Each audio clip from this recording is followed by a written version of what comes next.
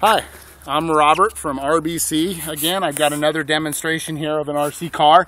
Uh, you can actually see it in the other video, but uh, it's BOWRON 90. Shows all of our videos on this uh, stuff that we're we're testing, and it's supplied by Max Sales in Camas, Washington. Uh, it's a super hydrophobic spray, two part.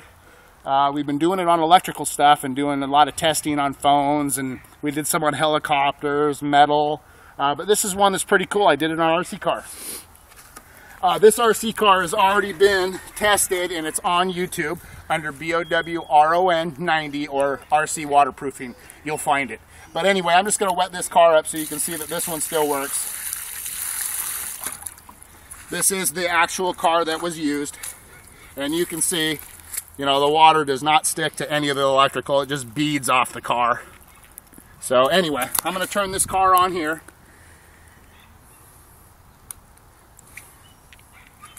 Oops. Hang on a sec. I got to turn the radio on first. My bad. You can see I'm not an RC professional. I guess you let it link up here. And I guess when I got control here, there's reverse, there's forward. Okay, I'm just going to kind of run it around over here for a sec. I just got it wet, but we've already tested this car in the water, and it, it still hasn't failed on us at all. You can see it works fine. I'm going to bring it over here real quick and uh, pour a little more water over it just so you can kind of see. And this one here is a Fantasy Hobby uh, down in Lakewood. Uh, really good guys, but you can see the water just beads off. I sprayed the uh, receiver uh, the controller, the motherboard inside, the servo sprayed inside and out for extra protection. I mean, spraying the outside is fine. Uh, I took the motor off, sprayed the motor, uh, sprayed the front and back of the motor. I didn't spray any of this stuff here. Maybe on the next car I will, but it seems to be staying pretty clean after playing in the water and the mud. But anyway, what we did is, after we did this on the first video, and uh, you can still see that the top is perfectly clean like the day we took it out of the box.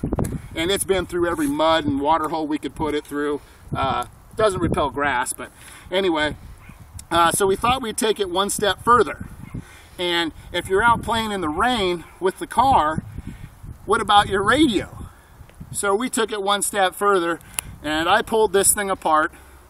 Wasn't the funnest thing in the world to do, but it's doable. So I pulled it apart and I sprayed all the components in this radio. So I think you guys can be the first ones to see it.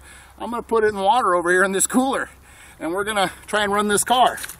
So I'm gonna put this right here because I have no idea how far the signal will go.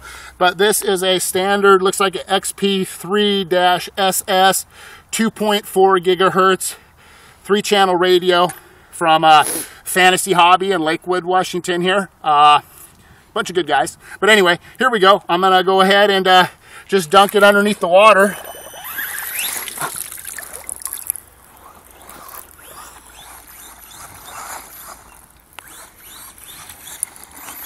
Still got control of the car here, so I'm gonna give it another dunk underneath the water. I'm trying to trying to control the car is kind of uh, weird underneath the water, but I still got full control of the car which is pretty cool. You can see, maybe get a closer shot here of the car, the radio under the water. I'm gonna go back in. Yeah, let me get the car straightened out. I'm gonna go back in underneath the water. Looks like I got full steering, back and forth. Looks like my throttle's working okay. This radio is completely full of water right now. I mean, you can see it just pouring out of every orifice of this thing. And I still got full control of that car. Let me get some of the water out of there. It kind of feels awkward inside. But as you can see, I got full control of this car. So anyway, let's uh, go ahead and maybe dunk her again. Completely underneath, filling up with water, getting heavy. And I still got full control of this car. I probably can control it under the water. Yeah, I can. It actually is giving me signal. Kind of lose it a little bit underneath the water, but now it's under the water and it seems to be working all right. Whoa, crash and burn on the car. But anyway, you can see the water pulling out of that, so I'm going to walk over and get it.